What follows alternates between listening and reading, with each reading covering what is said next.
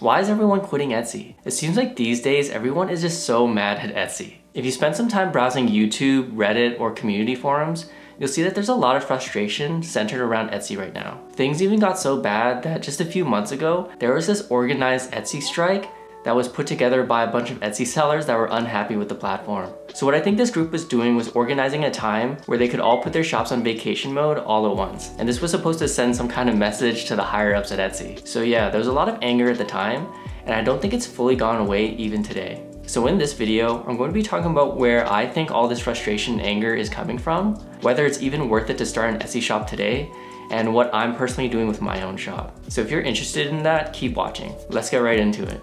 So like I said, if you take a look around, you'll see that there's a lot of anger in the community. It seems like everyone is as angry as a Jigglypuff with a sleepy audience. And if you really think about it and try to get to the root of the problem, you'll probably come to the same conclusion as I did. And that's that people are so angry because their shops are not meeting their expectations. Because if you really think about it, right? If your shop was making millions of dollars a year, there's no way you would be angry at Etsy. You'd be super happy. The only reason why so many people are angry with the platform now is because there seems to be a larger amount of people whose shops are not meeting their expectations. So why is this? To answer this question, you have to acknowledge that Etsy is a growing platform. The number of new people who are shopping on the Etsy marketplace is increasing every year. And not only that, the number of sellers are increasing too. Let's take a look at some statistics. So let's take a look at Etsy's revenue from 2012 to now.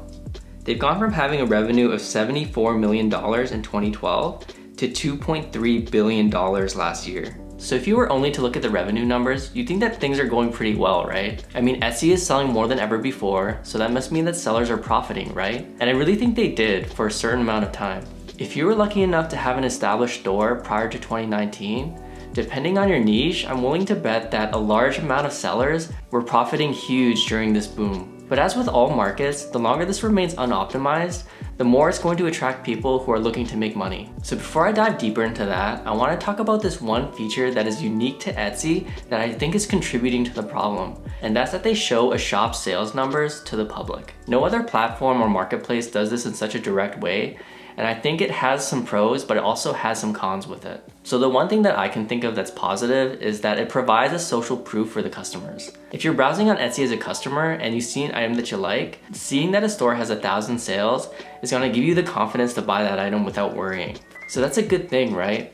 And I think that's a big reason why Etsy has been growing as a platform so quickly. But the downside to this is that this number is also publicly available for all your competitors to see, and it really encourages copying successful products. For example, let's look at this Etsy shop called Personalized Bco. Going through their page, you can see that they sell personalized acrylic prints, and they have about 38,000 sales. And if you scroll down, you'll see that they opened their shop just two years ago in 2020. Scrolling back up, if you look at the price of their items, you'll see that they're all around the 16 to $30 range. So even if you're being really conservative and you assume that the average price of an item sold is around $20, with some simple math, you can see that they made in the neighborhood of $760,000 in two years, or about $380,000 a year. If you're someone looking to make money, and let's be honest, most people are looking to make some extra money. If you see this shop and you have any experience in making acrylic prints, or even if you're just willing to learn how to make them, you'd be very tempted to open a competitor shop and just copy all their items. And to be honest, this is exactly how I got started on Etsy. I was just browsing Etsy one day and I saw a sticker shop that was doing really well in a specific niche. And I thought to myself that I can make better stickers than this shop. So I opened up Google and I typed in how to make stickers and that was the start of my shop. And the thing is, I'm pretty sure I'm not the only one to do this. I'm sure lots and lots of people had the same start to Etsy as I did. And for me, I think that's the biggest reason why there's been such a huge increase in sellers in the last few years. It all comes down to the numbers in this chart. In 2012, Etsy had 800,000 sellers, and today that number is up to 7.5 million. More sellers leads to more competition, and competition drives down prices, which kills profits, which kills businesses. And I think that's where all the frustration is stemming from. So in my opinion, it's not really Etsy's fault. It's a thing that happens with all markets. When there's money to be made, it leads to oversaturation and increased competition. And the only thing you can do if you're in this for the long term is to try to rise above the competition. So now the question is, how do we do that? How do we rise above the competition? And I've been reading a lot of business books over the past year trying to find an answer for this question. And from what I've seen, there's three main ways. Number one is to create something new. Some of the shops that I see that are struggling are literally just carbon copies of a more successful shop. From what I've seen, doing this doesn't really work. Because if you think about it, when your store is an exact copy of a more successful shop, why wouldn't a customer looking for the product that you're selling just go to the more successful shop to buy the item? When your items are exactly the same, there's no reason for a customer to choose your shop, and that's why these shops generally struggle right from the beginning. The second way to escape competition is to improve upon an existing product in a way that customers care about. So instead of copying an item or a listing directly, try to make some kind of improvement on the product. For example, if you have experience making leather goods and you see a successful shop that's selling leather camera straps, instead of just copying their straps exactly, you can add another feature like personalizing a name on it or different colors. Something that can make customers choose your shop over theirs. And I found that a third way to escape the competition is to create a strong brand. Branding is something that I think a lot of businesses, especially ones that are on Etsy, don't think enough about. But I think it's so important because a lot of the time when a customer is presented with two very similar items, that customer is simply gonna choose the one whose branding resonates with them the most. This is a big reason on why I spend so much time on the branding for my own shop, and I think it's really been helping long term. If you're interested, I did make a video on branding where I dive a little deeper into what my thought process is when I'm coming up with a brand. I'll leave it in the description below if you're interested. The truth is, is that selling on Etsy today is a lot harder than it was just three years ago. There's more sellers than there's ever been, and every day it gets harder and harder just to stand out from the competition. Shops that are doing the same thing that they were three years ago might find themselves struggling today in this new environment. And I feel like this is where all the anger and frustration is coming from. If this is happening to you, I think it's a really good time to take a deep breath, take a look around, make a plan, and find a way to adapt. Because good businesses are the ones that can be flexible and adapt with changing times. So with all that being said about the increased competition and oversaturation, I want to answer a question that I still get all the time, and that's if it's still worth it to start an Etsy shop today. And it might not surprise you, but my answer is still the same, and that's if you're just starting out, I still highly recommend starting on Etsy over any other platform. When you're starting a store on Etsy, you're tapping into a huge customer base that Etsy has built over the last decade. And all you really have to do is figure out how to make a product that people will like. And it's weird because every time I recommend Etsy to people online, I always get responses like, But Tim, I heard Etsy is horrible. I saw in the news that everyone on Etsy is going on strike, and their fees are so high, and they treat their sellers so poorly. Why would you recommend a site like that? And my response is always, what is the alternative? Let's break down the high fee argument because I think that's the main thing sellers are angry at right now, and it was actually the number one reason for the Etsy strike just a few months ago. So for those of you who don't know,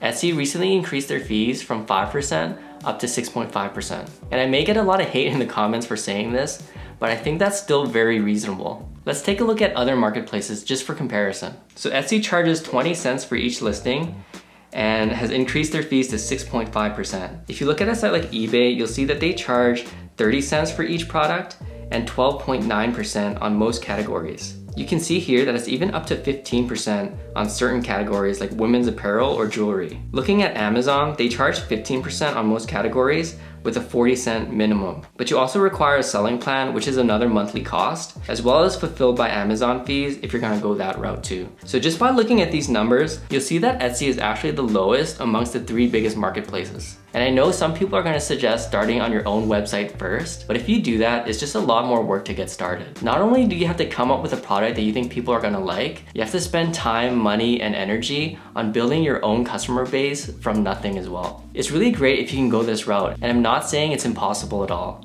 I've seen a lot of stores start from their own website and become very successful. But for most people, because the journey is so long and so difficult, most of the people that I see go this route give up before they even get their first sale. And that's because it's just so hard. I really think that out of all the marketplaces available today, Etsy is still the best overall in terms of fees, ease of use, and how fast you can get a store up and running. If you disagree and you still think Etsy is this big evil corporation, let me know like what's the alternative? Because from what I've seen, People who are quitting Etsy, most of them are straight up just quitting their entire businesses altogether. And that's something I'm really not interested in. So yeah, if you know something better than Etsy, put it down in the comments. With that being said, I'd like to give a quick update on what's going on with my own shop since it's been a really long time since my last video. If you've been following my channel for a while, you know that last August, I had this amazing month where I sold over $9,000. But right after that, visits and sales to my shop have been slowly declining. And it's sad to say, but I've never hit that $9,000 since. I'm still bringing in a decent amount of money every month, but in my particular niche, I've seen a huge amount of increased competition and just people who've been copying my shop. For the time being, I've shifted most of my energy into my own website, and I'm trying to learn how to market my own website over my Etsy shop using Facebook and Instagram ads. I'm not quitting or abandoning my Etsy shop by any means. My Etsy shop is still where the bulk amount of my sales are coming from, so that's something I don't want to cut off completely. But yeah, I'm not giving up yet. I actually reinvested some of my profits into new equipment. For those of you who don't know, I was using a desktop printer and a couple of Silhouette Cameos as my equipment before, and I recently upgraded to a Roland BN20 and a Graphtec cutter and it's made a huge improvement on the quality of stickers that I'm making. Like I'm making commercial quality stickers now. I'm still figuring out how all the new equipment works with all the new software that I have to learn, but I'm really liking it so far. But yeah, my shop isn't booming like it was last year, and it could be for a lot of reasons. Like I mentioned, it could be the increased competition. It could be that COVID brought in a lot of new users and that's starting to trickle down now. Or it could be because of what's going on with the global economy. I mean, inflation is at an all time high now. Everything seems so expensive people are having trouble finding work. Like all of these things could be what's contributing to what's happening to our stores. But something that's really helped me on my journey so far is to try not to get angry at this stuff. You really have no control over any of it. And no matter how angry you get, nothing's going to change. The only thing that you can do is to focus your energy and time on things that you have control over. And for now, I'm just focused on improving my shop in any way I can and trying to build my own customer base. I always try to remember that I have a choice in what platform that I'm on, and just like with any choice, there's pros and cons to every decision.